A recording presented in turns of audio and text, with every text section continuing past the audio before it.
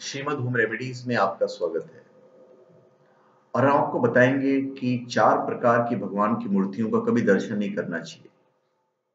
इससे आप समस्या में आ सकते हैं, या समस्या हो सकती है। आधुनिक समय में बेशक हर कोई मंदिर जाने के लिए समय नहीं निकाल पाता है। लेकिन अधिकतर लोगों के घरों में छोटा सा मंदिर या भगवान की तस्वीर ज़रूर होती है।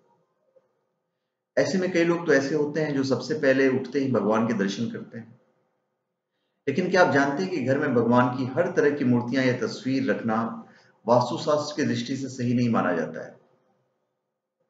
हम आपको बताएँगे उन मूर्तियों के बारे में जिनके दर्शन करने से आप परेशानियों में गिर सकते हैं। भगवान की पीठ दिखती मूर्ति कभी नहीं रखना चाहिए। कई बार ऐसा होता है कि मूर्तियों को साफ़ सफ़ाई करते समय भगवान की मूर्ति की दिशा घूम जाती है। ऐसे में भगवान का मुख सही दिशा में नहीं होता है और कारण ये होता है कि हम फिर पीठ देखते हैं। तो पीठ देखना भगवान का अच्छा नहीं होता, खास करके श्री गणेश का पीठ कभी नहीं देखना चाहिए। इससे आप समस्या में आ जाएँगे। फिर पूजा स्थल पर दो मूर्तियाँ आमने सामने नहीं रखनी चाहिए।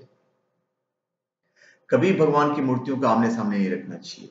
मूर्तियों के इस तरह के दर्शन करने पर रोज़ाना लड़ाई हो सकती है। इसलिए दो मूर्तियों के बीच पर्याप्त दूरी होनी चाहिए। फिर खंडित मूर्तियों को घर में नहीं रखना चाहिए।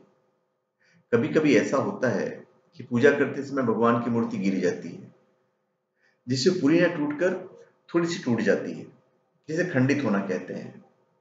इसलिए ऐसी मूर्तियों को ज़मीन में दबा देना चाहिए या फिर नदी में प्रवाहित कर देना चाहिए।